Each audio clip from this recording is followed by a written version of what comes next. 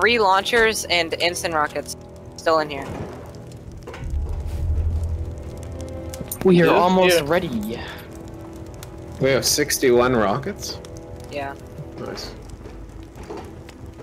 Ooh, what is going on, everybody? Today you're going to be watching a raid cam taking place on the Rusty Moose official server, commentated by yours truly, Guacamole Jones, and beautifully edited by Swemba. There's a guy down there. He's a spear. it. Leave him alone. The clan that is getting raided today is a Korean clan that calls themselves Hashtag. Now, the reason Friduwulf and E4V are going after this clan is because the Korean clan has offline raided multiple people, including a bunch of their allies. So they're going to take a fat sack of the rockets, roll out to get their revenge on this clan. Alright, let's go, guys. Let's hit some trees real quick. Let's Is stop. this the base here?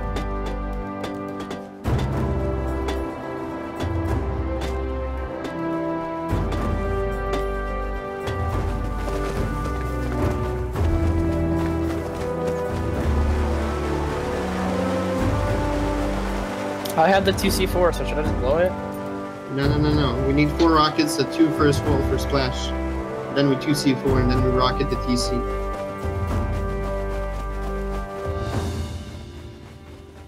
We're raiding this. Uh, maybe. Yes. oh, okay. Now, most of the raid team is going to stay hidden behind the rocks while two of the raiders build the raid base. I'll upgrade. They're staying out of sight. If the raiders do spot them, they don't know the exact numbers of what they're going up against. Yeah, guys, get back. Don't shoot the numbers yet. So they're going up against a massive base, as you can see. The base has one main building, and then right next to it, it has a big fat tower. Not to mention that the base also has double stacked walls, and it even seems in some areas that there's triple stacked walls. Upgrade these roofs. Upgrade these roofs. Yeah, I have Uh, someone. Okay, upgrade the sheet, the sheet floors, because it's gonna take less. Sheet floors all on top. Not to mention, it's also on water, making it even more difficult to raid. When nighttime falls, they're gonna have trouble keeping warm. And as you can see here, the raiders are making a pretty substantial raid base. It seems that most of it is being made out of sheet metal and it has high external stone walls surrounding it. There's plenty of places to shoot out, so this is gonna be a good tactical advantage for whenever they die or whenever they need to respawn or defend from that base. Right now, the raiders are building a twig tower to see down into the furnace area to get a good look at what they're going to be blowing into.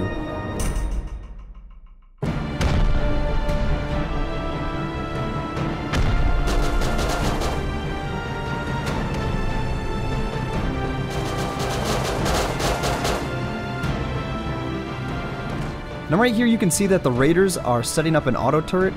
It's a pretty interesting strat. It can easily backfire though if not well coordinated. Wasting no time at all, the raiders start blowing shit up. They're blowing into multiple areas of the base, shooting rockets all over the place. Walls are blowing up, things are crumbling. Starting with the small outer base, they score access to the tool cupboard inside. Get the TC. The defenders start shooting counter rockets down at the raiders, and as you can see in the background, one of the raiders actually got taken out by a turret that is unexpectedly around the corner. Turret, there's a turret. You Oh, should from the rocket roof. that turret. Turret. Where is it? It's to the right inside the breach. I just died from it. Trying to take out the turret, they quickly peek around the corner and shoot some rockets at it, trying not to get their head blown off in the process. That turret is out of here. Right here. Infinix Prime briefly engages one of the Koreans before he closes the door. This was all open. We got you guys flanking. The raiders start blowing into the main base, keeping the pace up.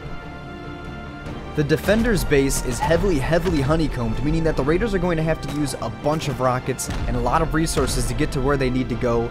But don't worry, they brought plenty of those. Yeah, they're trying to they're trying to wall the breach.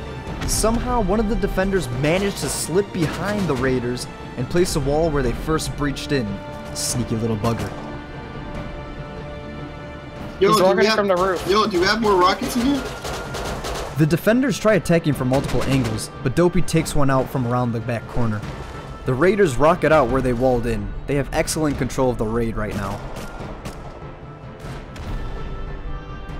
The defenders are making it rain fire. They're shooting incendiary rockets down at the Raiders, so it's making it harder for the Raiders to actually maneuver around where they want to go.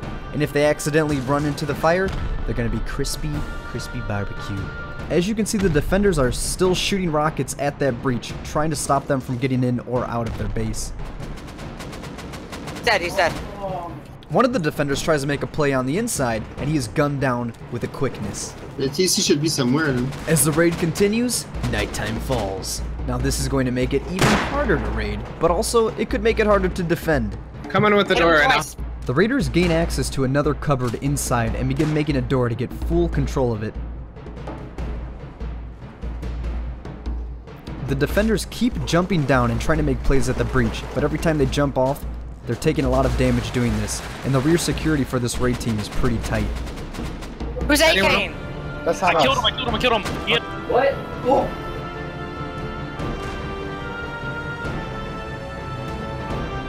Oh, I got you, I got you, bro. The defenders appear to have full control of the outer base building by now. This is going to give them better control of the area, and it's going to give them easier access into the enemy's main base. Are you guys good? You guys need help on left side?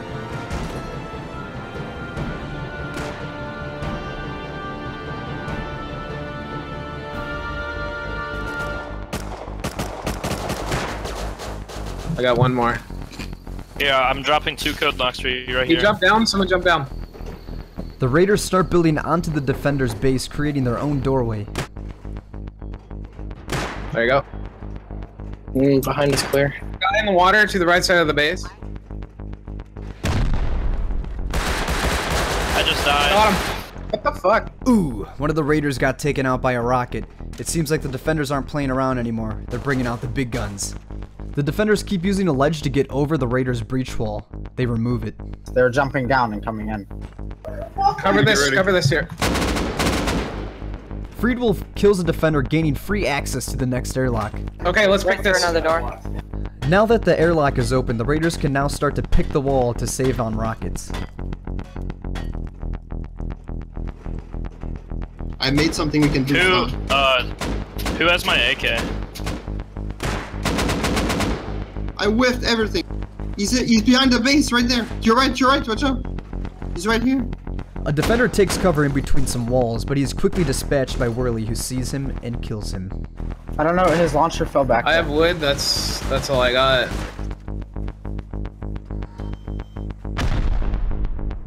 Who's that naked right there? Oh yeah, it's not us.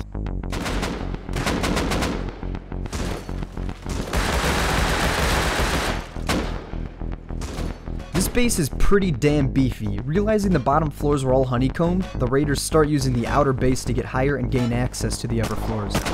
I can put a box on top of that wall, and then we can boost if I destroy the windows right there. No. Don't rock at the floor. The raiders start blowing the balcony, but carefully leave the floor layer intact to jump on. Now as you can see here, they placed the wood box on that twig wall. Now the reason why they placed that wood box there is so that they can boost up to the upper floors. They have no building privilege to get up to there, so that's why they're using the box to boost up. Ooh, great high scoring play by the defenders with a well placed rocket. This takes out some of the raiders. Even though the rocketing defender did make a nice play, it's not long before he's taken out by the rest of the crew.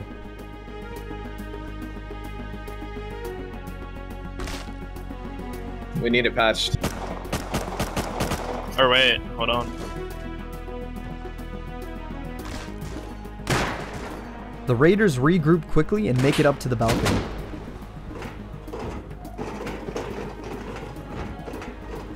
One of the raiders makes sure to watch that door in the back so they can't get flanked by one of those sneaky defenders.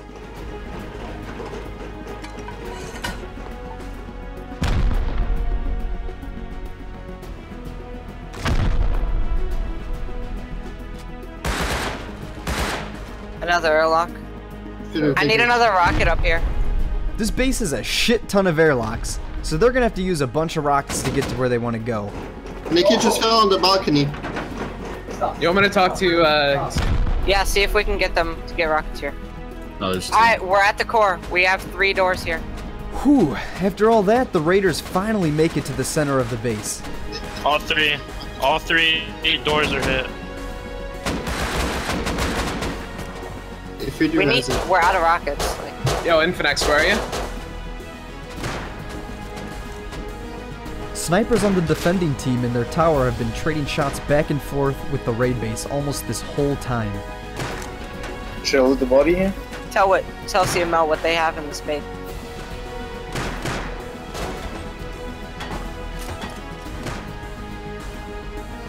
Since the readers are so damn close to the loot room, they're gonna stop using rockets for now and they're gonna start picking in. Someone's going to kill them right now.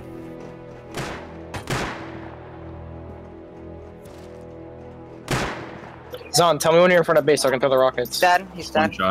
The defenders seem to be resupplying each other. They probably have people crafting during the defense. Um, I just left base. I'll be there in a little bit here. A wild naked counter raider appears and throws a grenade at hashtag's base.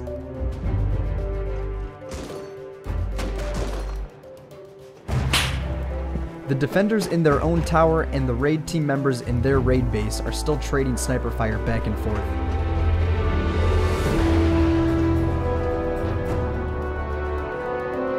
With a great shot, aimbot fires an incendiary rocket and hits the roof of the tower. Alright, we No, need- that was This a is naked by beautiful the- ensign rocket. Jump jack.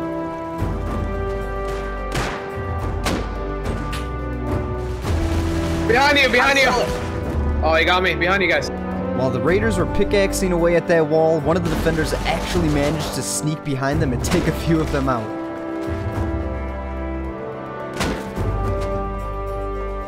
If we rocket right there. Fuck, Where? Hold on. If we rocket right there. A beautiful incendiary rocket lands right on top of the defender's base.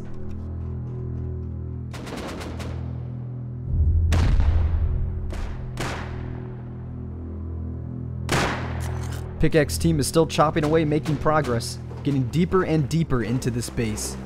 Probably one floor. Yeah, we need to. I fell in, dude. Krulin accidentally falls into the airlock, meaning he's trapped and he cannot get out. Oh shit. Rocket right there. Rocket right there. It'll break my wall too. Maybe. It might. Well known PvPers to come and help. Yeah, Yeah, dude, it, it's damaging this wall. Gunfire erupts inside the base. He's gonna rocket you guys. Can Wait, someone start here. breaking this door, Wait, out, please? We, we, we can boost rockets. up, guys. We can boost up. We have to kill him now. Desperately looking for the loot room, the raiders start boosting into the base.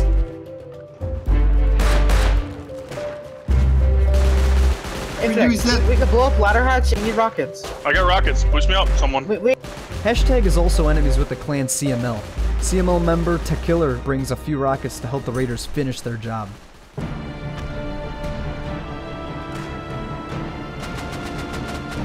Making one. uh, okay, main, main, main loot room. This is their last stand. Yeah, this is the last stand. This is where the loot room is. How many rockets do we have coming up, Animo?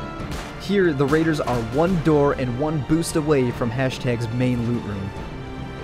Cover. You need to cover it so they can't walk. Come on, come on. Quickly. They get the M2? Alright, let's like They it's open the door, they open the door. dude. We need It's up. And uh, scope. I'm getting the wrong P2. people. You're shooting the wrong people. It doesn't Kill mean them! Oh, your Infinix! Oh, they closed the door. I saw Okay, them okay. running running away. away. Get They're all up. No, I'll naked. cover. I'll, I'll try to They're opening? too. Yo, follow me, whoever. I just killed like I think Kill I just got some. I got Kill, rocket. kill him! Boost me! Boost me! Wait, what? The defenders throw a grenade, killing a raider, Infinix Prime. Krulin is the only member left upstairs now. It's open! Oh my god. They just closed it. Hashtag throwing more grenades down below their loot room. Krulin needs help, and he needs it fast.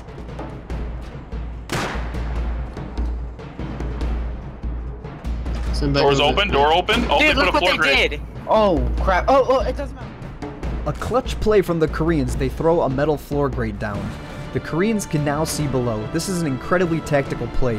They now know how many raiders they face down below. We need another person here to boost me up. Yeah, like. Oh, he got me, They're shooting us. What the fuck? What did Zyphy do? Okay. Behind their base. the I'm same- AK, dude. I'm dead.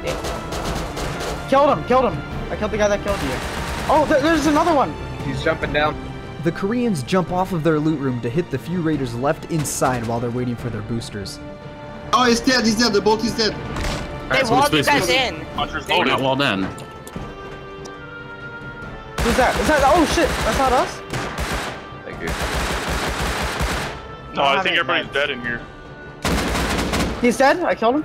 I'm, I'm gonna Boost die. me, boost me die. up. I'm Coming, dead. coming. Yo, someone with a dead. gun I killed him. I killed him. All right, nice, nice. Kill the. F- Okay, I'm coming. The Raiders were getting caught up on this very difficult boost onto the defender's balcony. Until someone gets up there, Krulin is the only one left inside with multiple defenders trying to kill him. Wait, no, right here, I think. Here, so. Wait, how, how did they, how did they get our TC? Oh my god. A well-placed rocket seals the deal for the defending clan hashtag. A second rocket then destroys the boost. Yo, they destroyed Hold the on. boost. Dopey does manage to get onto the balcony before the rockets strike, but he's also all alone on that floor. There's, there's a guy in the fucking breach. He's wearing purple. He's coming in. Yes, VK. That's him, yeah. The defenders did a great job of saving the rockets until they saw the opportunity of when they truly needed to use them. The Raiders hurry to build back what they lost, but another incoming rocket stops them. I'm dead. You killed me. Yeah, dude, I'm fighting three of them right now. I'm running out lit torch. You're coming. Body. They're rocketing. Who's this They're adding naked? doors to where you guys blew in at right now. The Korean clan hashtag is now putting doors back on their airlocks, effectively ending the raid. No, I'm dead. we need. We Killer's we're dead. in their loot room. In the end, they may have not been able to secure all the loot or completely destroy their base, but they did heavily grief it. And that's what these offline raiders deserve. Thanks for watching, guys, and I hope you enjoyed. If you haven't already, go check out Swemba and Friduwulf's channels. They'll be down in the description. Swemba's the one who did this amazing edit, and Friduwulf is the man with the plan that raided the base. Hope you guys enjoyed, and have a good one.